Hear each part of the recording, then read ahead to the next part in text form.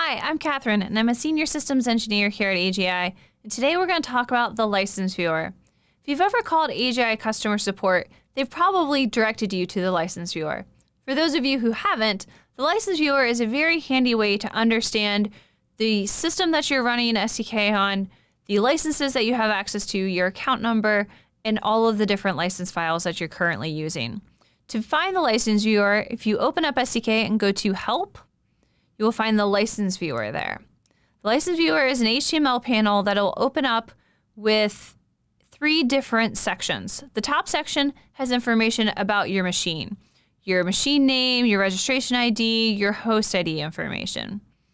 The second table has all of your license information. What licenses do you currently have access to? So on the left hand side, you have the license acronym, the product long name, the version of STK that you're running, the again, the status of it, if are you using a network license, are you using a permanent license, and then finally your account number.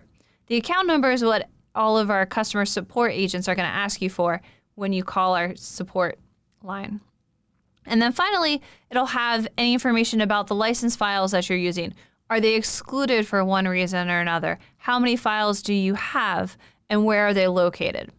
So this is just how you can find out a little bit of information about the licenses you have access to, your account, and your host ID name for when you call in customer support.